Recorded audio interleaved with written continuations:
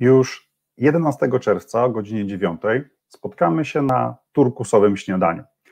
Porozmawiamy o tym, jak budować inicjatywę i samodzielność e, w firmie.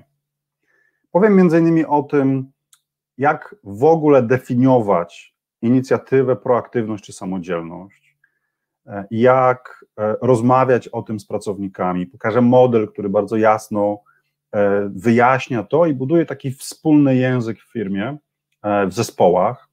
Powiemy sobie o tym, co obniża, bądź o takich blokadach, barierach e, związanych właśnie z e, byciem proaktywnym e, i o tym, jak kreować postawy proaktywne i inicjatywę w zespołach i w firmie.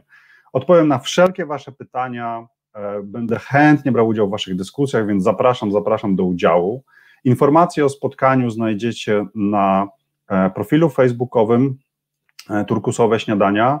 E, też prawdopodobnie jest na stronie internetowej turkusoweśniadania.pl, więc zapraszam bardzo serdecznie 11 czerwca, godzina 9.00.